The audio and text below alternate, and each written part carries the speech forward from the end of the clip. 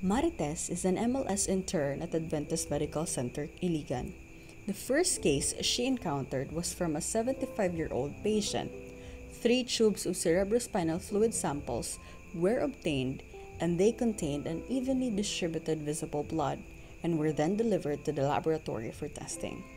After they ran the tests, the CSF were found to have a WBC count of 250 microliters, glucose of 70 mg per dl, protein 150 mg per dl, and there were no organisms seen in gram staining. Its differential count contains 68% of neutrophils, 3% of monocytes, 28% of lymphocytes, and 1% of eosinophil. And there are also many macrophages containing ingested RBCs seen.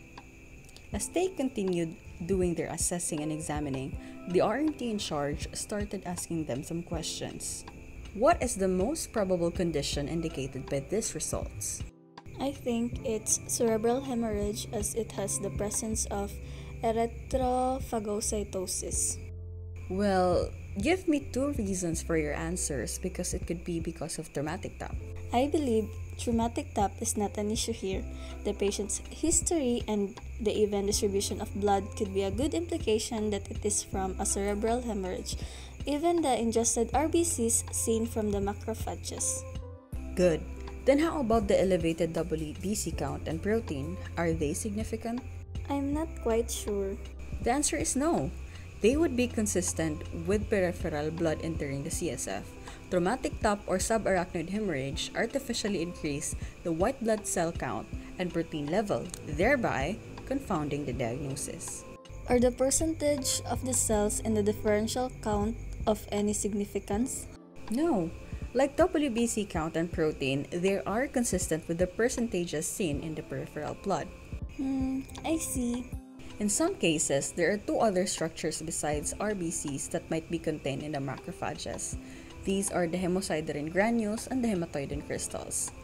As the RBCs degenerate further, the breakdown products are seen in the phagocytic cells, which are the macrophages, as dark, granular, iron laden hemosiderin deposits or yellow crystalline iron free hematoidin crystals.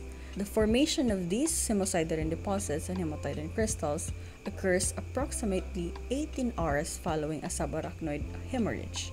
The hemosiderin deposits, hematoidin crystals, and siderophages may be present in the CSF for several months. Interesting. Mm, is traumatic tap the reason if there is an unevenly distributed blood, even if its RBCs are nucleated and capillary structures were seen instead of macrophages? Well, if that is the case, a traumatic tap might have happened, not a hemorrhage. Oh, I see. Thank you. This sure have been a help for us. No problem. There's nothing wrong about asking questions. As Albert Einstein said, learn from yesterday, live for today, and hope for tomorrow. The important thing is not to stop from questioning.